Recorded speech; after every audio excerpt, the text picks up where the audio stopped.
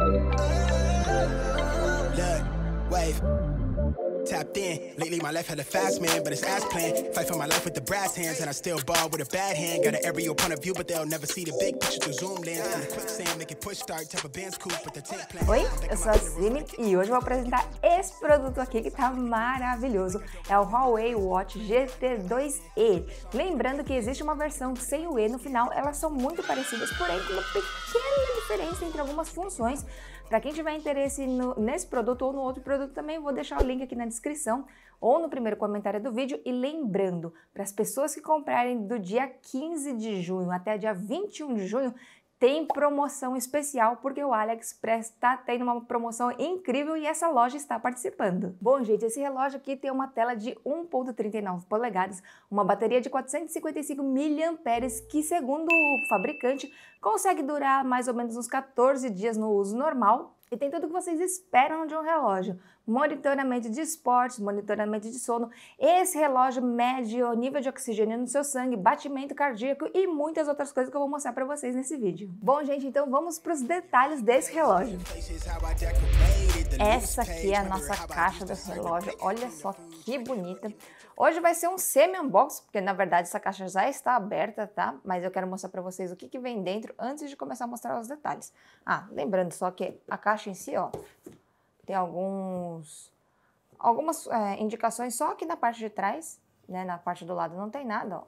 Mas vamos abrir, que tá muito bonita. Olha só, aqui em cima, tem esse brilho quando você mexe conforme a luz bate, ó. E a imagem aqui, ó, em gloss, para ressaltar o relógio. O relógio em si vem assim, ó. Ele já tá ligado porque eu já parei. Vou deixar ele aqui de lado para mostrar as outras coisas que vem na caixa para vocês. Dentro da caixa, desse lado aqui, vem os manuais. Oh, errei! vem o carregador. Vou mostrar aqui mais de perto. Tá vendo? É um carregador, você só coloca o relógio aqui em cima. Ele tem lado certo, mas ó, só colocar e o ímã já encaixa. Fora isso, nós temos também o cabo para poder carregar, que é um cabinho, deixa eu ver qual é o tipo de entrada. Tipo C, gente, que me deixa muito feliz porque tem que ser meio padronizado, né? A gente tem que ficar tendo cabo para tudo quanto é coisa, muito ruim. Aqui nós temos os manuais.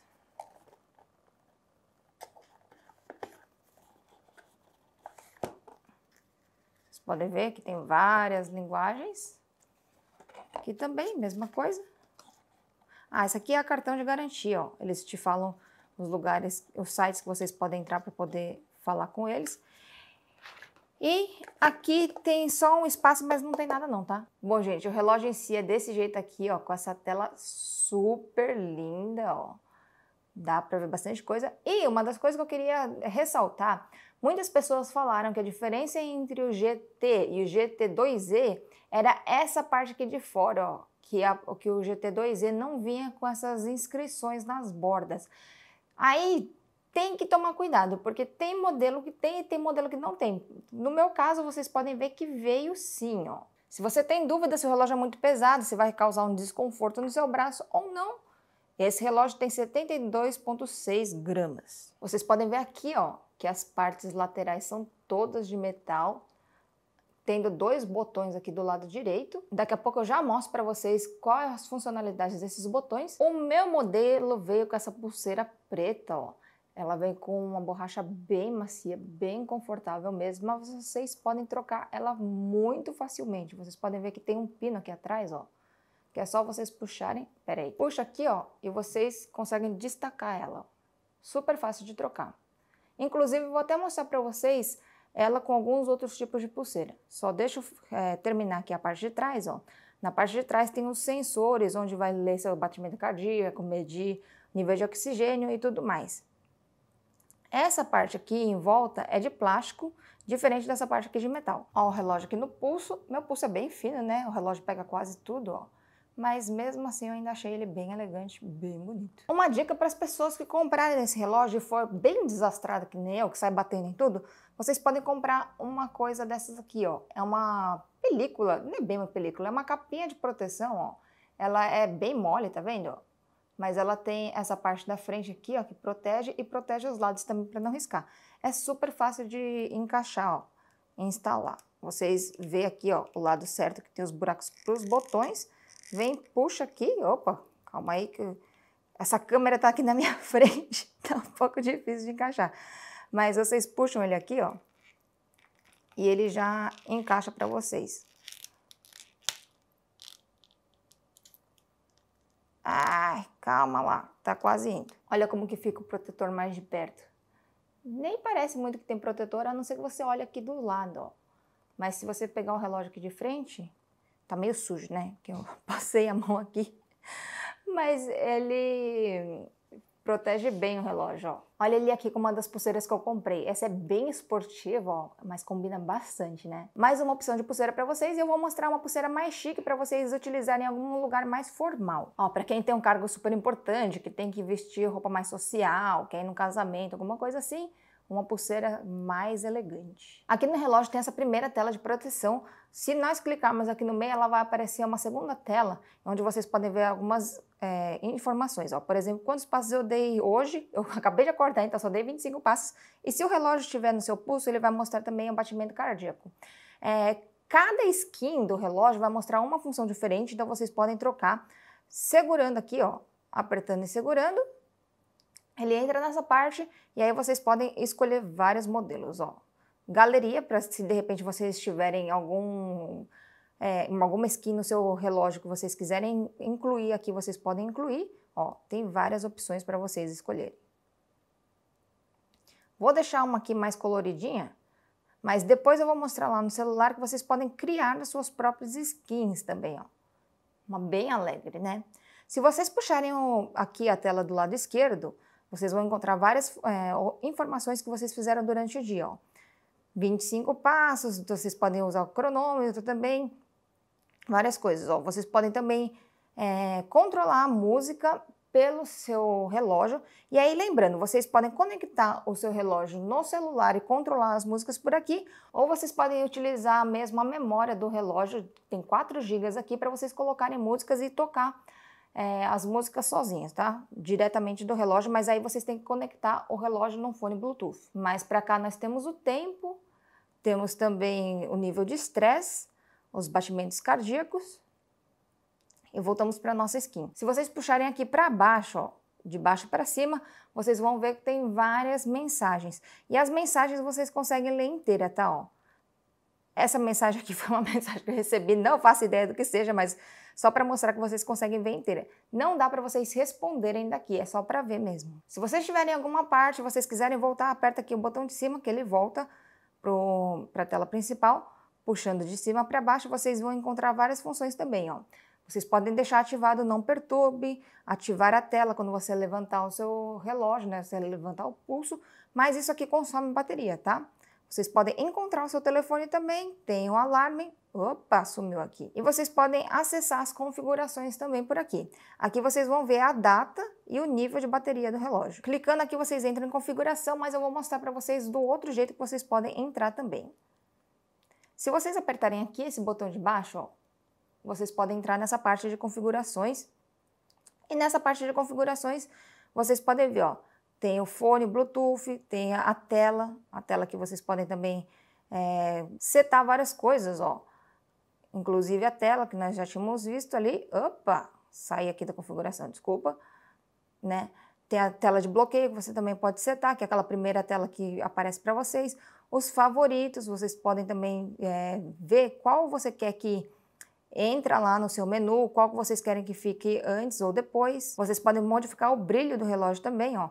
Se vocês querem automático, se vocês quiserem é, controlar vocês mesmos, ó tem o nível do 1 até o 5, vou deixar no automático, ok? E aqui vocês podem acessar a parte dos avançados, ó.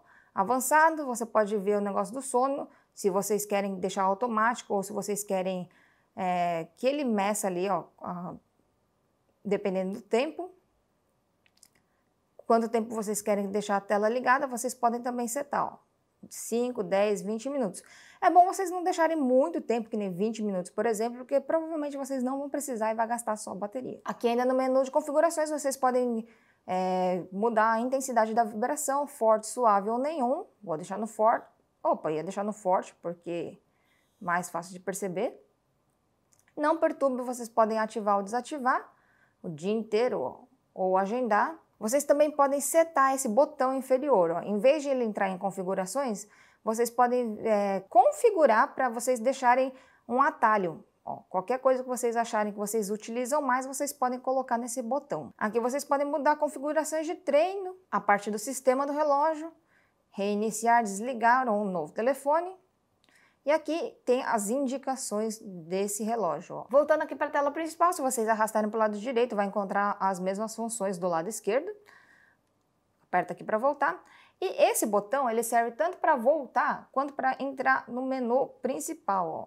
Apertando aqui em cima vocês vão encontrar várias coisas, ó, como treino, vou clicar aqui para mostrar para vocês, opa! E aqui ele vai mostrar várias coisas, ó, trajeto de corrida, corrida ao ar livre, corrida interior, né, naquelas esteiras, caminhada ao livre, caminhada no interior, ciclismo no ar livre, ciclismo no interior, natação em piscina, natação no mar aberto, escalada, caminhada, corrida em trilha, tri, triatlo, opa, saí do negócio aqui, elíptico, remo e outro, spinning e adicionar. Vamos ver o que, que a gente pode adicionar.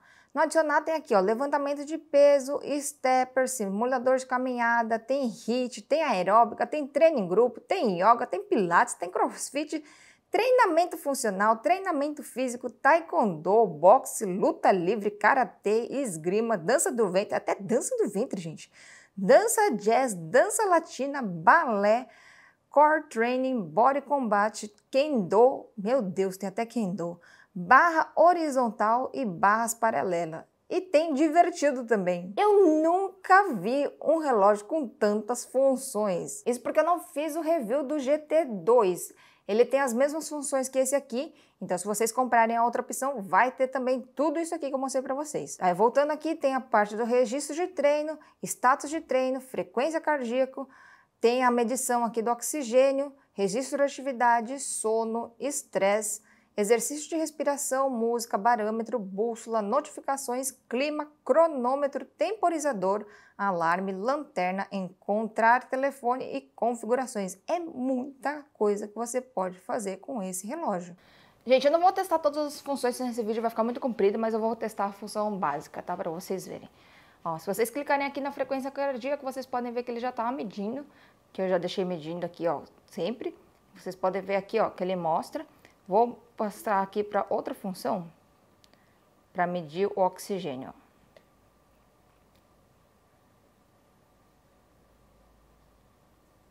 Ele está medindo aqui e lembrando que se tiver menos que 95%, aí já corre para o médico porque tem algo muito errado.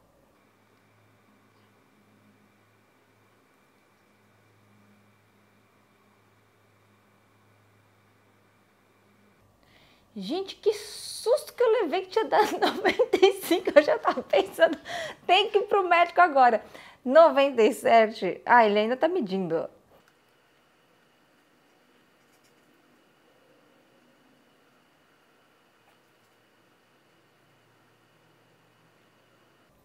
Ó, o meu deu 97, não é muito bom também, tá?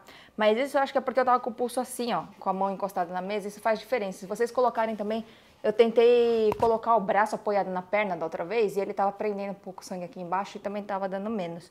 O geralmente normal dá mais ou menos 99%, 97% já tem que começar a me dar uma preocupadinha, né? Ó, por exemplo, aqui nessa parte do relógio vocês conseguem ver algumas informações, mas vocês não conseguem ver tudo detalhado. Por exemplo, a parte do sono, se vocês clicarem aqui, vocês podem ver que hoje eu dormi 6.45 horas. Eu até que dormi bastante, porque ontem eu consegui dormir cedo, mas geralmente é menos do que isso. E aqui tem a meta, que é para 8 horas. Eu vou entrar no aplicativo para mostrar para vocês os detalhes desse sono. Aqui no aplicativo, na tela principal, ele já entra nessa parte aqui, ó, já tem algumas informações desde o começo. Desde aquela hora que eu comecei a gravar para vocês, já aumentou os passos porque o Miro veio entregador aqui em casa e o Miro foi de casa e tive que sair correndo atrás dele. Ó. Aqui tem as informações do batimento cardíaco, também tem a data. Ó. Se vocês clicarem, ele vai ter alguns gráficos também que vocês podem mexer para poder ver melhor. Ó. Tá vendo? 16 de junho. Hum, e aqui mostra a hora também, ó. Nossa, dia 16 de junho, às 5h41, quando eu tava dormindo, o batimento cardíaco tava bem baixo, ó, tá vendo? Ele vai mostrar várias informações para vocês e aqui tem algumas informações em chinês.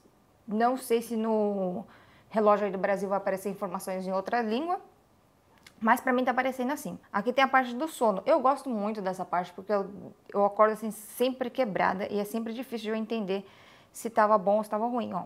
Se vocês verem aqui, ó, o roxo mais escuro é sono profundo, vocês podem ver que eu tive pouco sono profundo. Sono leve, que é esse rosa que tem aqui no meio, ou sono REM, que foi basicamente o que eu tive mais, mais tive foi sono leve esse aqui e despertar. Despertar eu não tive nenhuma vez. Eu tive 76 pontos nessa minha noite de sono de hoje. E vocês podem ver aqui, ó, sono profundo, 1 hora e 10, sono leve, 4 horas e 21, e o outro sono, 1 hora e 14, ó. Deixa eu ver. Sono profundo tá super baixo, por isso que eu sempre acordo super cansada. Sono leve tá muito alto. Então, se vocês começarem a analisar tudo isso aqui, vocês podem entender o que está causando é, esse cansaço no dia a dia de vocês, vocês podem tentar fazer alguma coisa para melhorar. Nível de estresse, vocês podem ver aqui, ó, médio, normal, tem um pico aqui que eu dei bem alto. Ixi, não consigo entrar ali, ó. Mas teve um pico que eu, eu tive bem alto ali. Tem aqui também o nível de oxigênio no sangue, ó. 96, estava pior ainda. Aqui na segunda aba tem a parte de exercícios, aqui em cima tem algumas opções para vocês clicarem, ó, caminhada, ciclismo e tudo mais. E aqui até para vocês aproveitarem e escutar música enquanto vocês fazem seus exercícios. Vamos na terceira aba, explorar. No meu caso está tudo chinês porque eu estou aqui na China. Dispositivo. Aqui ó, tá conectado. Em destaque demonstradores, música e um monte de coisa. E aqui vocês podem entrar aqui, ó, mostradores. Bom, gente, vocês podem ver aqui que demorou, mas conectou. Aqui na primeira parte do recomendados, vocês têm as opções para vocês comprarem algumas skins, tá? Tem o gerenciador, caso vocês compraram alguma para instalar, e eu mostro também o que vocês compraram. Eu não comprei nada, então não tenho nada para instalar também.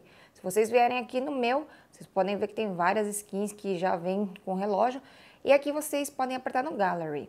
No Gallery vocês podem apertar aqui, ó, mais, e aí vocês podem ou usar uma foto que vocês já tenham ou uma, uma da câmera. Eu vou clicar aqui na câmera, ó, sei lá, para tirar aqui uma foto qualquer. Tirar aqui do relógio. E aí nós vamos usar essa aqui, ó. Confirmar. E aí vocês podem até aumentar, diminuir, centralizar, ó. Vamos dar o OK. Salvar. Tá salvando ó, o arquivo. E pronto, ó. Será que mandou para lá? Ó, já entrou aqui no relógio a minha nova skin. Super fácil de fazer, né, gente? E aí, antes de finalizar essa parte aqui, só quero falar sobre algumas coisas, tá?